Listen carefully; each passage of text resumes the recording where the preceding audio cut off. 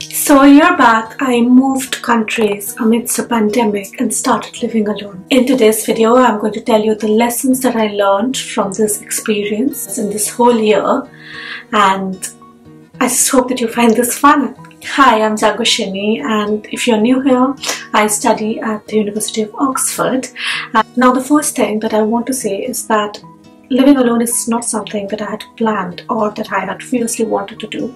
It's just something that happened to me and something that I needed to embrace. Now, there are certain ideas that are associated with living alone, such as it can get lonely, uh, it can get hard, and let me just tell you that all of them are true. But through that experience, I also learned a lot of things. And the first thing that I learned, rather realized, was that time is a luxury and it is one resource that I'm not ready to trade anymore for something that does not make me fiercely happy. So I do not go to parties to socialize. I do not go to gatherings just to make connections. When I moved here, I was at a point in my life where I needed to just give time to myself and I have been the kind of person who traded her time to be at any place and every place to be with people because I love to socialize. I just love being around people. But I started living alone at one point in my life when I, when as I said, I needed time for myself the most. I spent a lot of time by myself and this is not something that I decided on my own but I slowly realized that I was investing my time in um, too many things and in too many tasks mental, that mentally exhausted me at the end of the day when I returned home. I am not ready anymore to invest my time to trade my time for anything that does not make me feel happy when I enter my room at the end of the day and this is something that I am very particular about. I would rather, and I do, spend uh, an entire week by myself. I, I do not trade my time for anything that just I just have to do because you know it's a social convention. And, and I'm very grateful that I realized this about myself.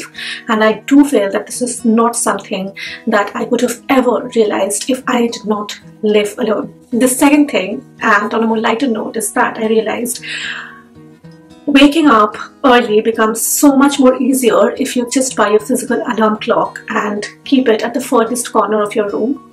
So what I used to do was I used to put my alarm in my phone and keep it in my bedside table. I did used to get up, but I used to scroll through my phone and I used to sometimes, you know, snooze the alarm button and all of that.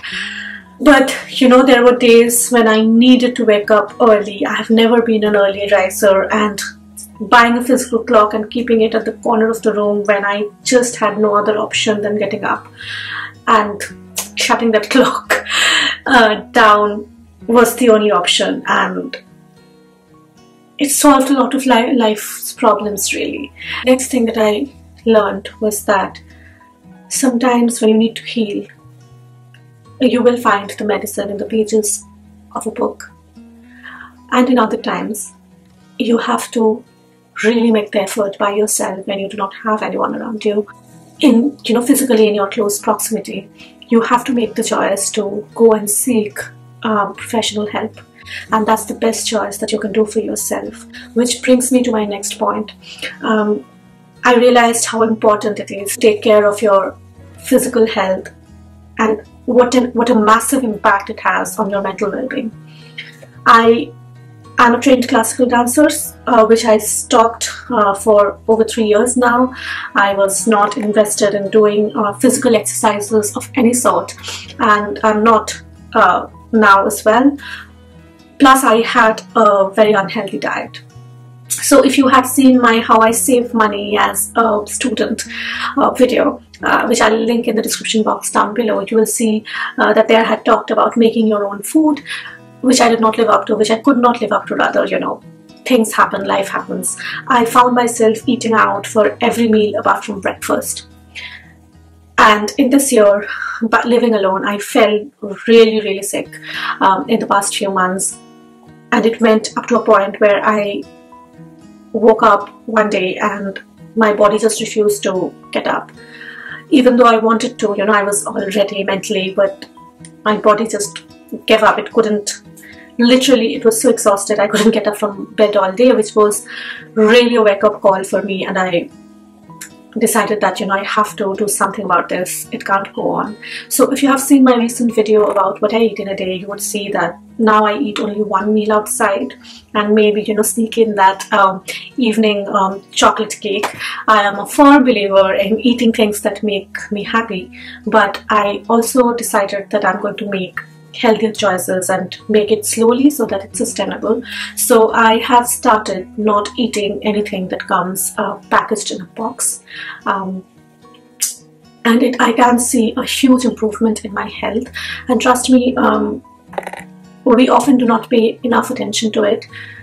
But physical well-being is extremely important and I had neglected it uh, most of my life, especially more so when I started living alone. My living alone experience actually taught me to be responsible for my own health and I, I, I do honestly feel that that is the biggest, biggest uh, lesson that it would have taught me. And the final lesson that I'm going to share with you about uh, what living alone for a year taught me was that there are going to be days that are going to be incredibly hard. And trust me, if you're lucky, you will have less hard days. And if you are not so lucky you will have more hard days um, than you know easier days.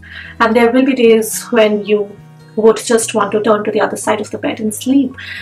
And it took me a lot of time to realize this. Um, it took me months but I realized that it is very important that on those days what you do is you actually turn to the other side of the bed and sleep so that you can get on your feet maybe a couple of days later and get going. Alright, so this is just something that I wanted to share with you. If you are a returning subscriber, you know, you know, I have been sharing small snippets from uh, my life.